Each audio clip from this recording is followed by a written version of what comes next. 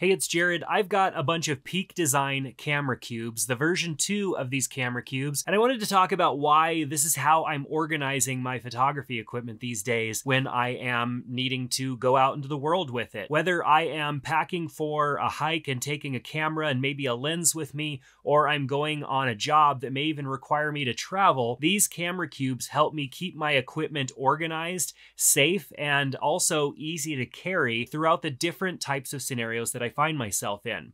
Now, in the past, it required me to purchase different bags for every scenario, and it was really annoying to have to purchase all these different bags because maybe I needed a small bag for scenario A and I needed a very large bag for scenario C. Not having a bag that was modular and a system that was modular definitely meant that I had a lot more equipment than I really wanted to have. Sometimes a bag just wasn't the right size for what I needed.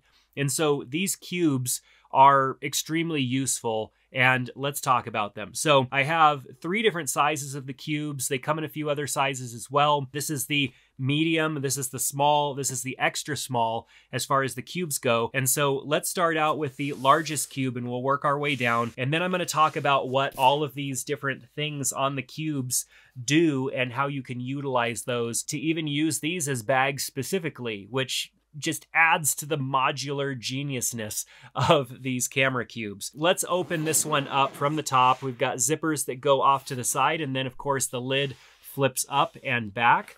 And we've got access to the cube here. I've kind of made some adjustments to the way that it came uh, from the factory to fit my camera. And I am constantly adjusting these different dividers based on what it is that I need to carry. Like most camera bags, these are Velcro, and so you can just easily move them and realign them and position them based on your needs.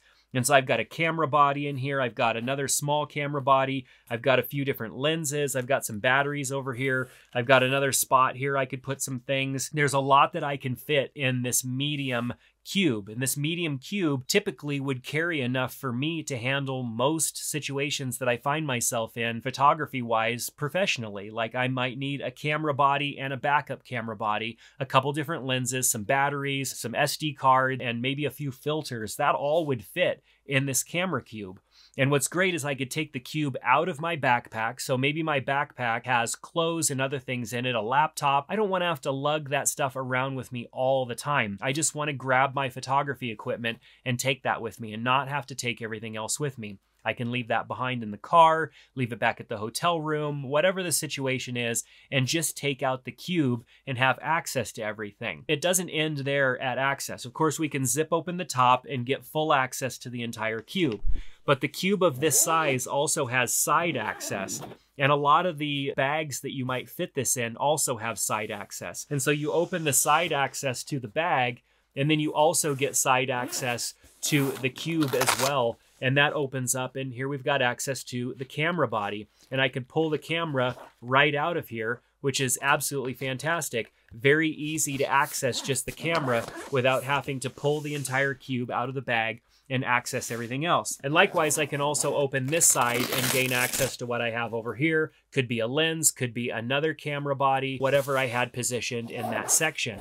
So those are great ways to be able to access something like this camera cube. But the camera cube also has these connecting points on the side. And if we move over to the small camera cube, it also has connecting points that match up and it's almost like they should be connected with something, right? Well, these camera cubes are gonna come with these C-clips and these C-clips allow you to connect these together, which you may or may not wanna do. I know for me, I tend to not connect them together because I might just wanna pull one cube out of my bag and leave the other one in. But if I want to connect them and make sure that they're staying connected and they're not slipping and moving around, I just simply use the C-clip to connect these. So I slide one in there, slide the other one in. It takes a couple of seconds of just getting everything aligned and then connects the little clip. And now we've got these connected. And if I put the other clip here, I can easily pick this up and carry the bags together as one unit, which makes it a lot easier than having multiple camera cubes that are just floating around. And so these C-clips are a really cool way to increase the modular usefulness here, functionality of these camera cubes by allowing you to connect them together. I use them sometimes, but not most of the time, because most of the time I want to be able to pull one cube out versus having them connected all the time. You can use those if it makes sense for you. It might not make sense for you all the time. But we also have these attachment points down here because what we can do is use a Peak Design camera strap to turn this into a camera bag. And so now you're thinking, okay, yeah, I want to carry this cube around with me. It's much easier for me just to carry my camera bag around with me because it has straps and I can attach it. I don't want to be attached to the handle here. You don't have to be. You go ahead and grab your Peak Design camera strap, which I don't have in front of me, but I do have a Peak Design enabled camera strap. This is a leather strap that I purchased off the internet and it has Peak Design connection points on it. And all I have to do is take one of these and loop it through just like so like what these are designed to do to be looped through things like the eyelets on your camera to attach a camera strap or something like that i just simply put this here and then attach the other one wherever it makes sense. You know, you might attach it to the opposing side. You might attach it to the same side here because this is where you would access your camera body. This attached here, this attached here. Shoulder bag is now what this camera cube has become. It is now a shoulder bag, which is super awesome. Now, I might not necessarily do that with the medium cube because it's a little big and it would be a lot to carry around in that way. I might go with the smaller camera cube and utilize the smaller camera cube in that way. Moving over, we have our small camera cube and then we have the extra small. Don't forget about the extra small. That is the most recent size that they have added to this lineup. The small camera cube we open up same way, two zippers, and then we have access to a camera body. We've got enough room for a lens, maybe a flash or a smaller lens and a bigger flash or some accessories and stuff in there. And you also probably noticed that there's this Velcro pouch in here that's actually removable. It was in the, the medium camera cube as well. This Velcro pouch is where you're going to find your C-clips. So your C-clips are going to come there. And this Velcro pouch also is good for SD cards or like little tools. You can see it also has some pockets in here as well. So this is great for storing additional items that are smaller inside of your bag because it just Velcro attaches anywhere in your bag that you want to put it. So looking at this small camera cube, you notice it has a lot of these hooks around the edges as well so that you can attach a strap and utilize this like a camera bag. If this was on my side like this, what I love about this is that I don't have to waste my time zipping one of these at a time. That's tedious, also time consuming. And if this was my bag off to the side here, I could just pull back full access to the entire thing. Let me do that again for you because I find that oddly satisfying. Simply pull, and it opens the entire top and I have access to everything that's in that bag, which is super fast and super tactical if you wanted to apply that term to it. But what I also love about this bag, just like the other bags, it has a handle and so I can carry this bag by itself, just like the medium has a handle and the large has a handle. All of these have handles to easily carry them. And then of course the mounting points to attach them together and then the mounting points to attach a strap to that and make it something that's grab and go. And you could even just have these attached to them where it makes sense so that all you have to do is just attach your camera strap to it. You can take that off, attach it to your camera, attach it to pretty much anything. It becomes a really modular system where you don't have to have a whole bunch of camera straps. You just have to have a lot of good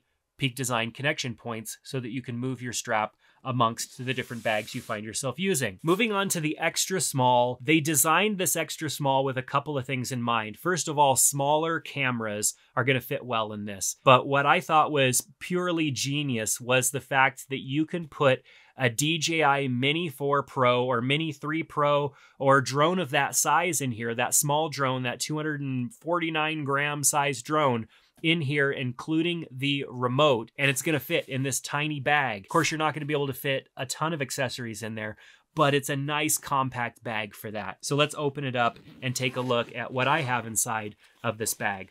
Well, I finally got my hands on a Leica Q3. And so I put my Leica Q3 in it because it's a nice tight fit right in there. I've got room for a filter and I've got room for the Leica lens cap in there as well. And that's how I've been using it. you can see that I moved this divider over so that there'd be room for the full camera. This is how it came naturally.